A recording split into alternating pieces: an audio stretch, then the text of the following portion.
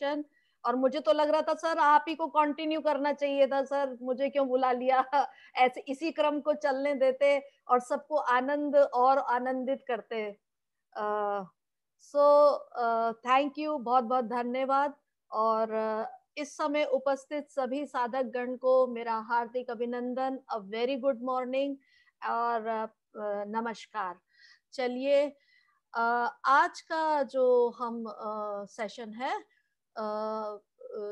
उसका टाइटल मैंने रखा है rules of laws of natural life प्राकृतिक जीवन के जो नियम है, अक्सर हम आपके साथ पहले भी कई बार जो है, हम डिस्कशन कर चुके हैं और ये एक तरह से उसकी एक समरी टाइप सी मैंने बनाई है कि तीन मुख्य बातें जो कि हमें ये देखने के लिए कि क्या हमारा प्राकृतिक स्वास्थ्य है कि नहीं है? तो उसके लिए हम सबसे पहले चेक करते हैं कि क्या हमारी नेचुरल भूख लग रही है? हंगर जिसे कहते हैं ये नहीं कि समय से हमें देख के खाना है। तो अपनी स्वस्थता की पहचान के लिए नंबर वन रूल क्या है कि आपको स्वाभाविक नेचुरल हंगर हो।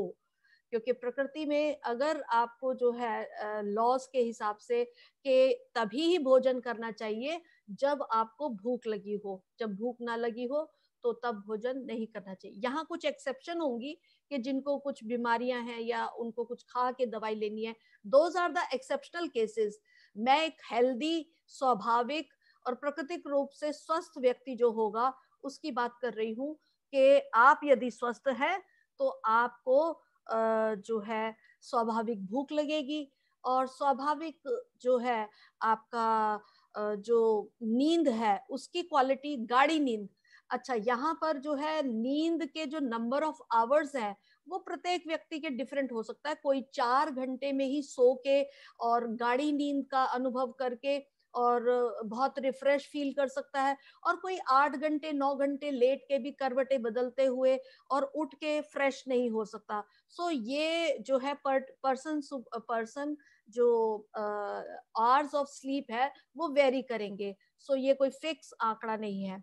और तीसरी बात जो प्रकृति का नियम है कि आपके अंदर आपके भीतर एक स्फूर्ति एक ऊर्जा का प्रवाह नेचुरल तौर पे जैसे जब उठे तो you have enthusiasm to go to work so वो एक एनर्जी का लेवल जब आपके ये तीनों बातें अगर आप मीट करते हैं तो तीन ये प्रकृति नियमों को, प्राकृतिक नियमों को अपने दिमाग में रख के के यदि ये तीनों चीज़ें मीट हो रही हैं, और तो आप जो है स्वस्थ है। और सबसे ऊपर टॉप ऑफ़ द जो नियम है वो तो है ही कि आपके अंदर जो है, प्रेम है, करुणा है और सबसे जुड़ाव है और किसी के प्रति क्रोध। तो यदि और किसी के प्रति हेटरेट नहीं है तो आपको किसी डॉक्टर के पास जाने की ज़रूरत नहीं है। आप मान लीजिए कि आप स्वस्थ है। अब जो है प्रकृति हमारा प्रकृति जो है नेचर क्या है? सबसे पहले तो नेचर क्योर जिसे हम कहते हैं नेचुरोपैथी नेचर क्योर।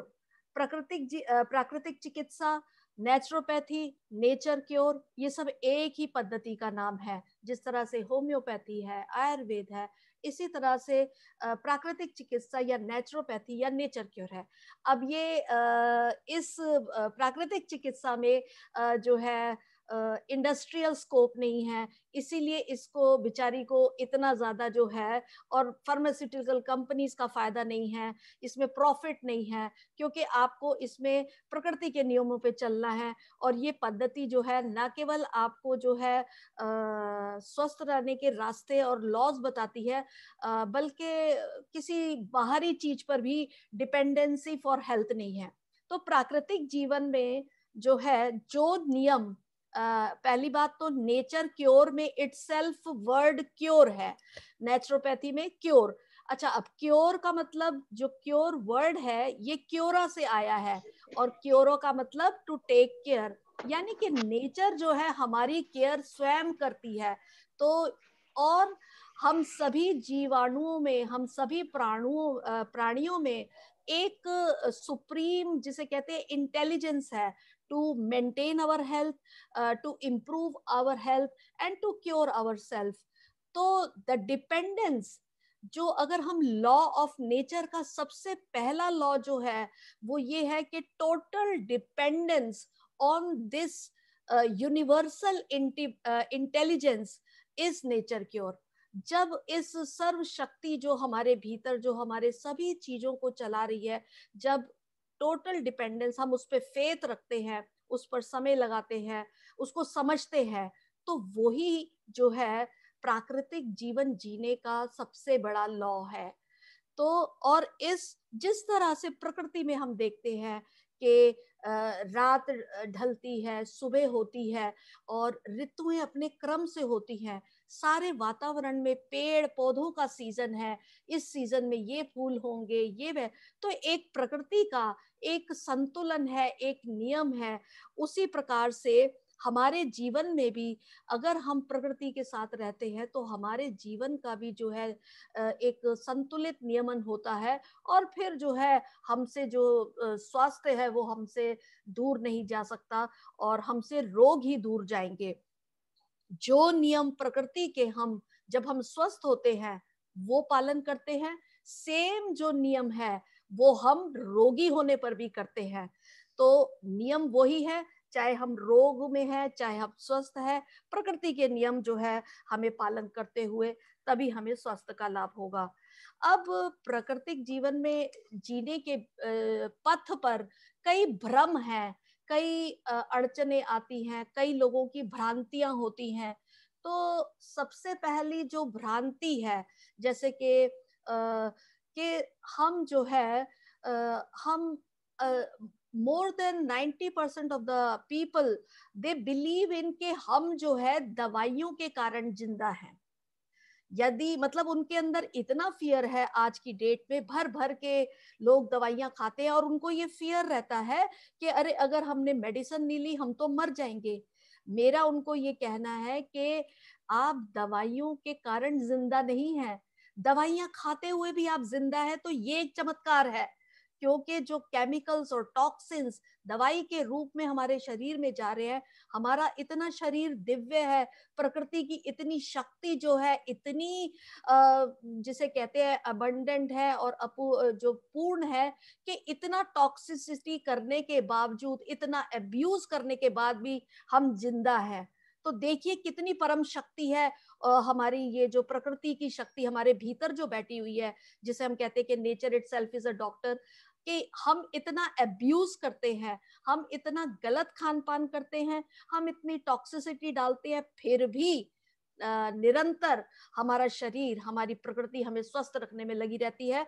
तो यदि हम प्रकृति के नियमों को फॉलो करेंगे, जो नियम है, जो प्रकृति के साथ चलना है, जैसे पशु पक्षी जीव जंतु जब उनको वो प्राकृतिक वातावरण में विचरण करते हैं प्रातः जल्दी उठते हैं, सुबह चिड़ियों का चहचहाहट और उनकी स्फूर्ति जो है सुबह मॉर्निंग में जो चहचहाहट होती है, प्राकृतिक हवा में वो सांस लेती हैं, सूर्य का सेवन करती हैं, प्राकृतिक जल और धरती पर लौटना जानवरों का और जब जानवर बीमार होते हैं तो वो जाके घास खाते हैं और वॉमिट करते हैं, तब भोजन का बिल्कुल त्याग कर देते हैं। ये प्रकृति का नियम है। ये और सबसे बड़ी बात देखिए कि ये प्रकृति का नियम जानवरों को पता है और हम लोग जो सबसे ज़्यादा बुद्धिजीवी हैं और सबसे ज़्यादा हमारे अंदर इंटेलिजेंस है, जो ईश्वर ने हमें दी है, हम बीमार होने पर भी खाते रहते हैं। तो हमें इस बात को ध्यान रखना है कि जहाँ बीमारी, जहाँ हमारे भीतर हमारी जो प्रकृति है, हमारा जो शरीर है, संकेत कर रहा है कि ओ there is something wrong you are not feeling well तो तुरंत आपका वो भोजन का त्याग करना है नेचुरल लॉ को फॉलो करने के लिए।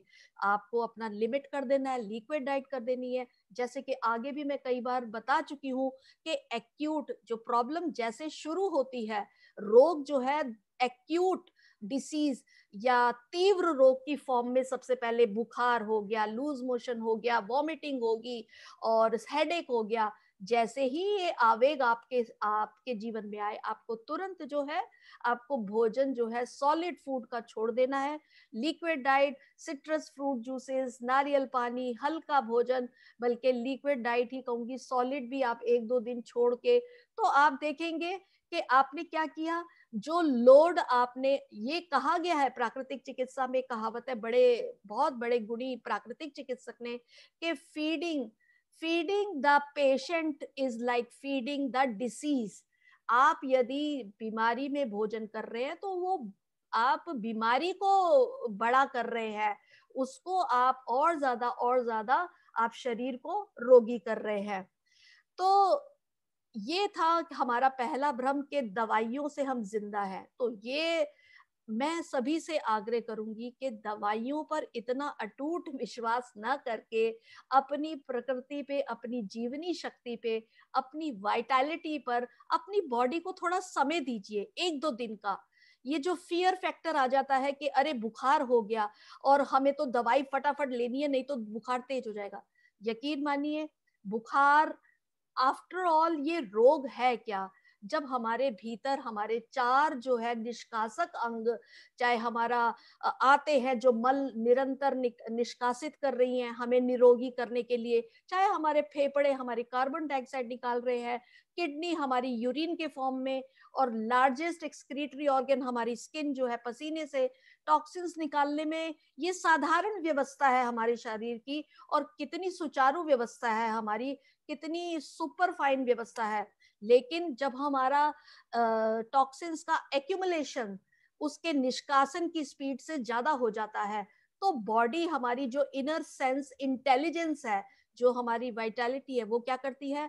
एक्स्ट्रा ऑर्डनरी मेजर्स अपनाती है, ताकि वो टॉक्सिन्स निकल सके। और ये जो बुखार है, ये कोई रोग नहीं है, ये बॉडी की एक प्रक्रिया है, सफल चेष्टा है उन टॉक्सिन्स को बर्न करने की और हमें निरोगी करने की। तो हमें प्रकृति का साथ देना है, दवाइयाँ ना खाकर अपना भोजन क्रम सुधार देना है तो धीरे धीरे एक दो दिन में सौ से ऊपर बुखार जाएगा ही नहीं। और जब तक बुखार है, तब तक वो वायरस और बैक्टीरिया को जलाने के लिए है। तो इस बात का ध्यान रखें। अब इसके बाद हमारे जो है रोगों की जो श्रेणी, जैसे मैंने कहा कि तीव्र रोग, किसी को जुकाम हुआ, खांसी हुआ तो ये तीव्र रोग हुए। तो यदि वहीं पर हमने करेक्ट डिसीज़न नहीं लिया, हमने प्रकृति को नहीं समझा, उस अज्ञानता के चलते हम मेडिसिन खा लेते हैं। हमने एंटीबायोटिक के कोर्स कर लिए, बहुत सारी मेडिसिन ले ली बुखार को सप्रेस करने के लिए। तो नेचुरल जो बॉडी की निष्कासन की और एलिमिनेशन की प्रक्रिया को हमने रोक दिया और वो मल हमारे शरीर में इकट्ठा होता रहा ओवर द ईयर्स और धीरे धीरे जो एक्यूट डिसीज है, वो क्रॉनिक डिसीज बन जाती है। और क्रॉनिक डिसीज ये जो गठिया कह लें, चाहे हाई बीपी कह ले, चाहे डायबिटीज़ कह ले, इसकी शुरुआत उसी तरह से सप्रेशन ऑफ़ एक्यूट डिसीजेस किसी को अस्थमा है ब्रोंकाइटिस है हार्ट प्रॉब्लम्स है तो धीरे धीरे उनके शुरू में उन्होंने एक्यूट प्रॉब्लम्स को सप्रेस किया तो वो धीरे धीरे मेडिसिन का प्रयोग किया, गलत खान पान किया तो वो एक्यूट प्रॉब्लम से वो परिवर्तित हो गई क्रॉनिक डिसीज में। और क्रॉनिक डिसीज से जब हमारे शरीर में वाइटैलिटी निरंतर निरंतर वो टॉक्सिन्स निकालने में लगी हुई है तो अल्टीमेटली क्या होता है कि हमारी वाइटैलिटी हमारी जीवनी शक्ति वीक हो जाती है।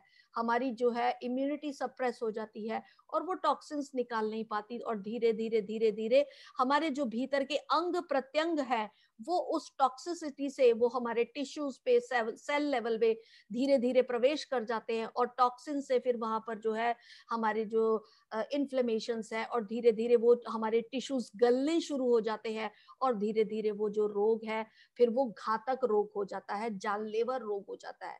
तो वहीं से शुरुआत से ही प्रकृति के लक्षणों को पहचाने and listen to your body what it wants when it wants इसके बाद जब हम अगर इलाज की बात करें, यदि आपने स्वस्थता के नियमों का पालन किया, प्रकृति के नियमों का पालन किया तो आप रोगी होंगे नहीं। लेकिन यदि रोगी हो भी गए तो हमें सबसे पहले क्या करना है? यदि आपको कोई रोगग्रस्त हो गया है तो सबसे पहले अगर हम उसके इलाज की प्रक्रिया प्राकृतिक तरीके से चले तो हमें सबसे पहले पेट की गर्मी को शांत हो, करना होगा।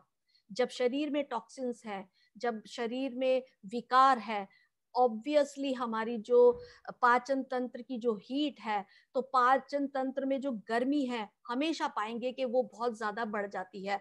और स्पेशली ये जो सीज़न है, आजकल ह्यूमिडिटी वगैरह, इस समय में लोगों को बहुत ज़्यादा हेड वगैरह हो रहे हैं, क्योंकि हमारे भीतर की जो गर्मी है, वो बहुत ही अनस्टेबल है और वो बढ़ जाती है टॉक्सिन्स की वजह से। तो हमें क्या करना है? पहला नियम प्रकृति का नियम अगर आपको समझना है कि हमारे को पहले पेट की गर्मी को शांत करना है। दूसरा नियम हमारा जो है कि हमारे को मल निष्कासन की प्रक्रिया को तीव्र करना है, क्योंकि हमें समझ आ गई कि अब जो है हमारे शरीर से मल निकलना चाहिए। और तीसरी हमारी जो है मल निष्कासन के बाद हमारा जो पाचन तंत्र है, उसको स्वस्थ और मज़बूत करना है। अब इसको हम समझ गए कि पेट की गर्मी, अब नंबर वन को मैं लेती हूँ, पेट की गर्मी को हम शांत कैसे करेंगे? हमें उसके लिए सबसे, यदि आपको हेड एक है या कुछ भी दिक्कत आ रही है, आप समझ जाइए कि आपके पाचन तंत्र से ही वो शुरुआत हुई है। तो वहाँ की गर्मी को शांत करने के लिए प्राकृतिक चिकित्सा में या तो आप जिस तरह से किसी को फीवर होता है तो वो माथे पे पट्टी लगाते हैं, लगातार बदल बदल के पानी में भिगोया और माथे पे लगाते हैं उसी तरह से आप टॉवल लेंगे और एक भगोने में, बाल्टी में सादा पानी, जो कि ना ज़्यादा ठंडा है, जो नल का पानी है, उसको, उसमें आप जल में तोलिया भिगोएँगे, उसको निचोड़ेंगे और अपने पेट पर रखेंगे। ये क्रम लगातार 20 मिनट तक आप करें। चाहे बल्कि किसी को गैस भी है या कोई भी डिस्पेप्सिया भी है, पाचन तंत्र की कोई भी है इवन माइग्रेन हेडेक्स तक में क्योंकि माइग्रेन हेडेक की शुरुआत भी आपके पाचन तंत्र की खराबी से होती है। तो अगर आप वो मेडिसिन ले लेते हैं तो वो सिम्टम सप्रेस हो जाता है, लेकिन जो रूट कॉज है, जो उसका मुख्य जो कारण है, वो वहीं का वही रहता है। तो हमने क्या किया? पंद्रह बीस मिनट तक आप टॉवल बदल बदल के एक टॉवल लेंगे, उसको निचोड़ेंगे। जब वो, आप पाएँगे कि आपका टॉवल गर्म हो जाएगा पेट की गर्मी से तो ये लगातार प्रक्रिया आपको जो है बीस मिनट तक करनी है। बीस से पच्चीस मिनट बेशक आप करें।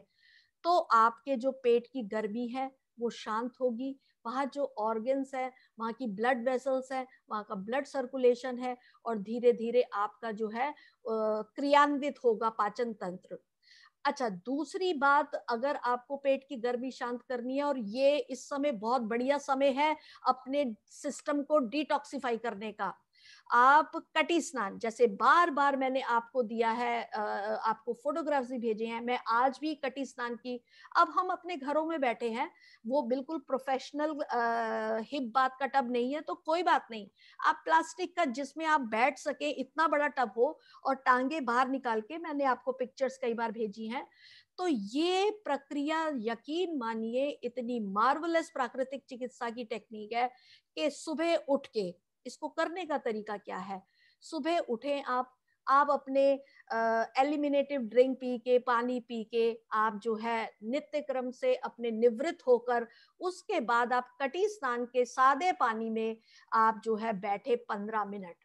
अपने हाथ में एक छोटा टॉवल ले ले और अपने नाभि के इर्द गिर्द जो आते हैं, आपका जो है उसको रब करेंगे। इसका पर्पस क्या है? पर्पस ये है कि हमारी बिल्कुल आंतों को इमेजिन करिए, जैसे नाली के पास आपके चिपक जाते हैं मल तो उसको छुड़ाने के लिए आप जो है पानी में बैठे हुए हैं, मल थोड़ा ढीला होगा आपका क्योंकि वहाँ पे ब्लड सर्कुलेशन और आप टॉवल से उसको अपने नाभि के क्लॉकवाइज मूवमेंट देंगे तो वो मल छूट के आपका आंतों से जो चिपका हुआ है जो आसानी से नहीं निकलता वो निकलेगा। और पंद्रह मिनट के बाद आपको कोई ना कोई फ़िज़िकल एक्टिविटी करनी है। नहाना नहीं है इसके बाद। फ़िज़िकल एक्टिविटी का मतलब क्या है? आप अपनी योग की क्लास कर लें आप वॉक पे चले जाएँ और ये सिंपल पंद्रह मिनट की टेक्निक से पाचन तंत्र के सभी रोग चाहे वो ऐसी हाइपर एसिडिटी है चाहे वो इनडाइजेशन है डिस्पेप्सिया है चाहे वो मैडम आवाज़ नहीं आ रही आपकी। आ रही है अभी आवाज़? जी। नहीं बहुत धीरे आ रही है आवाज़। आई नहीं रही बीच में तो आई नहीं रही थी। नहीं ठीक है अभी यहाँ आवाज़ तो ठीक है मैडम आई थिंक आपका शायद हो सकता है देखिए अभी आ रही है आवाज़ आ रही है। नहीं कम आ रही है मैडम बहुत फुल स्पीड में वॉल्यूम कर रखा है तो भी आवाज़ नहीं आ रही मैं थोड़ा सा और तेज बोलने का प्रयास करती हूँ। आवाज़ ठीक आ रही है उन्हीं के एंड पे कोई प्रॉब्लम हाँ आवाज़ एकदम सही है मैडम बिल्कुल सही है। वाईफाई से जुड़ा हुआ फिर भी नहीं आ रही आपकी आवाज़। मैडम बहुत बढ़िया आवाज़ आ रही है। थैंक यू सो मच और अगर जिनको नहीं आएगी तो ये रिकॉर्डिंग आप सुन लेंगे। ये सी रिकॉर्डिंग हो रही है कार्यक्रम की तो आप चिंता ना करें। अब कोई नेटवर्क इशू होगा आपका क्योंकि बहुत सारे लोग सुन पा रहे हैं दैट मीन्स के कहीं आप ही के नेटवर्क में कोई बात नहीं चिंता ना करें आपको वीडियो भी आप यूट्यूब से ले सकते हैं। तो अ, हमारा जो है हम दूसरी टेक्निक कटी स्नान की बात कर रहे थे बहुत ही मार्वलस टेक्निक है। आप जो है अपने घर में ये टब ला के रखिए स्टर्डी टब हो जिसपे आप बैठ सके और वो टूटे नहीं और उसमें पानी नाभि तक का होना चाहिए। आप बैठेंगे और आपके नाभि तक सादा पानी और टॉवल से आप जो है रब करेंगे। इस प्रकार से सिंपल टूल से आप जैसे कि वेट कंप्रेस से और कटी स्नान से आपका जो है पेट की जो गर्मी है, जो मूल कारण है टॉक्सिन्स की वजह से जो एग्रेवेट हो जाती है तो वो आपकी शांत होगी और धीरे धीरे आपको उसका स्वस्थता का लाभ, उसके लक्षण नज़र आने शुरू हो जाएँगे। आपकी कब्ज टूटेगी, आपको गैस की प्रॉब्लम है, वो भी। अब जिनको एक और बात बता दूँ कि जिनको बहुत ज़्यादा जैसे कि पेट में कब्ज है या बहुत ज़्यादा कॉन्स्टिपेशन है, कड़ा मल हो गया है और निष्कासन में बहुत दिक्कत है तो उनके लिए ठंडा गर्म सेक है पेट पर। उनको हॉट एंड कोल्ड फॉर्मेंटेशन देनी है। जैसे कि आप तीन मिनट गर्म टॉवल से दो भगोनों में पानी रखेंगे, एक में आप गर्म पानी रखेंगे खूब तेज गर्म पानी और एक में सादा पानी। तो आप टॉवल भिगोएँगे गर्म पानी में तीन मिनट जो है आप गर्म टॉवल रखेंगे, एक मिनट ठंडा। इस तरह से तीन बार का क्रम चलेगा। तीन मिनट, एक मिनट, तीन मिनट, एक मिनट, तीन मिनट, एक मिनट। और चौथी बार क्या करना है? तीन मिनट गर्म और तीन मिनट ठंडा। इस तरह से अगर प्रक्रिया कर ली और लपेट मैंने आप सभी को कही है, सभी लोग आप हमारे जो है अध्यास साधना केंद्र से जाके खरीद सकते हैं, आप ऑर्डर कर सकते हैं, किट्स अब अब हमारे यहाँ अवेलेबल होने वाली हैं, डिलीवर हो जाएँगी आपको। तो आप ये जो है, ये छोटे छोटे टिप्स बहुत ही आसान है, लेकिन बहुत ही चमत्कारी लाभ है। इसके अलावा जो है आप ये देखिए कि जब अगर आपने पाचन तंत्र को आपने दुरुस्त कर लिया इन प्रक्रियाओं से प्राकृतिक चिकित्सा की सिंपल सिंपल टूल से तो आपका पाचन तंत्र स्वस्थ होगा और 80 percent of the immunity is in the digestive system. ये 80 परसेंट इम्यूनिटी आप जो है पालेंगे अगर आपने अपने पाचन तंत्र को सही रखा।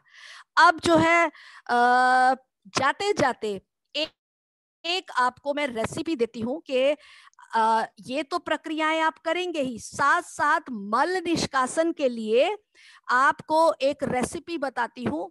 यदि आप वो बना के पिएँगे तो आपकी आंतों की सफ़ाई में मदद होगी। यानी कि ये ड्रिंक है कॉलोन क्लेंजिंग ड्रिंक यानी कि इसे कॉलोन क्लेंजिंग सूप भी कह सकते हैं। इसके इंग्रेडिएंट्स नोट करें।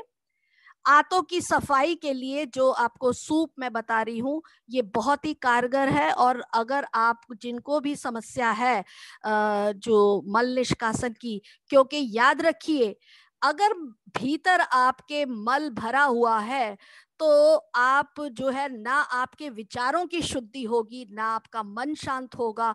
आपका जो सारा बैलेंस है वो गड़बड़ा जाएगा। सबसे पहला कार्य निरोग अ, अ, निरोगी होने का अपनी आंतों को साफ़ रखिए। The more you are cleaner from inside the more you will shine the more energetic you will feel.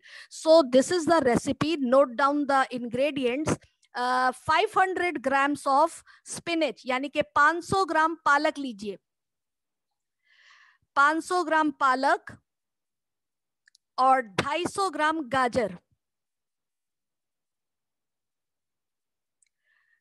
500 ग्राम पालक 250 ग्राम गाजर 250 ग्राम शलजम पत्ते समेत पत्ते भी शलजम के अब आने वाला सीज़न शलजम आ, आ, आ, थोड़े दिनों में दिखना शुरू हुआ बल्कि हो ही गया होगा दिखना अ, तो 250 ग्राम शलजम विद द पत्ते उसके लीव्स के साथ और साठ ग्राम धनिया हरा धनिया हरे धनिया की पत्तियाँ जो होती हैं हरा धनिया कोरिएंडर जिसे बोलते हैं साठ ग्राम दस ग्राम अदरक। तो फिर से एक बार रिपीट करती हूँ 500 ग्राम पालक 250 ग्राम गाजर 250 ग्राम शलजम पत्ते समेत और 60 ग्राम धनिया 10 ग्राम अदरक। इन सभी इंग्रेडिएंट्स को एक लीटर पानी में उबाल लीजिए। कुछ देर उबालेंगे इसको और फिर उसको जो है ठंडा होने पर मिक्सी में आप ब्लेंड करके छान लेंगे, आपका फ़र्स्ट क्लास सूप हो जाएगा। और इसमें आप भुना हुआ जीरा डालिए, काली मिर्च डालिए हल्का सा काला नमक डाल सकते हैं टेस्ट के लिए, नींबू डाल सकते हैं और ये दिन में हर तीन घंटे में गरम गरम पीजिए। आपको स्वेटिंग भी आएगी, उससे भी मल निकलेगा और आपकी आंतों की सफ़ाई भी होगी। तो ये जितने दिन चाहे प्रयोग कर सकते हैं, इसका कोई साइड इफ़ेक्ट नहीं है। और अब आने वाले सीज़न में हल्की हल्की ठंड होगी, डेली अपना सूप को अपने जो है लाइफ का हिस्सा बनाइए और इस तरह से आप इसका लाभ उठा सकते हैं। इन्हीं शब्दों के साथ जो है, मैं अब अपने लेक्चर को विराम देती हूँ। और यदि किसी का कोई प्रश्न है तो प्लीज़। मैडम, ये सलजम के बजाय दूसरी चीज़ क्या डाल सकते हैं? सलजम मैं खाता नहीं हूँ। हाँ तो कोई और अन्य सब्ज़ी जैसे मल निष्कासन में आप क्या कहते हैं जो लौकी है हाँ हाँ। तोरी है टिंडा अच्छा, है जो जो भी अच्छा, कोई अच्छा ठीक है। यहाँ जो इसमें जो पालक है यानी कि अच्छा, पत्तेदार जो चीज़ है वो की इंग्रेडिएंट है वो मल निष्कासन में सबसे ज़्यादा काम करेगी। और बता दू एक बात और तो बता दू जिनको कब्ज है वो कुछ ना करें। पालक का कच्ची पालक का भी रस और गाजर के साथ टमाटर के साथ अगर मिक्सी में सीधा कच्चा जूस भी पी लेंगे जो है आंतों की सफ़ाई हो जाएगी। जी। ये एक मेंबर के लिए है। देखिए ये एक लीटर में आपने लगभग ये आपका बन जाएगा तो ये आ, जैसे मर्ज़ी पी लीजिए एक बारी में दो ढाई सौ एम तो पियेंगे तो आप एक बारी बनाइए एक एक कप सारे फैमिली वाले फिर दोबारा बना लीजिए। वो तो आपके ऊपर है कि कितने मेंबर्स हैं कितने लोग हैं कितनी बार जो पीना चाहते हैं। ये तो एक रे, रेशो दे दिया है मैंने। अब उसकी आप बढ़ा घटा सकते हैं क्वांटिटी वगैरह और अपने मेंबर्स के हिसाब से बनाइए सब लोग पीजिए बच्चे भी पिए। जी। थैंक यू डॉक्टर साहब मेरे को पूरा बदन गर्म रहता है वैसे कुछ नहीं है मतलब गर्म रहता है। जब सैर कर लेता हूँ तब तो ठंडा हो जाता है। नहीं तो बाद में कितना भी टावल लगाता हूँ ना गर्म ही गर्म ये आप मुझे कार्ड अगर माली बोल रहे हैं। माली। नाम बताएँ सर। सुशील जैन फरीदाबाद। हाँ जी सुशील जी आप कटी स्नान कीजिए। कटी स्नान बहुत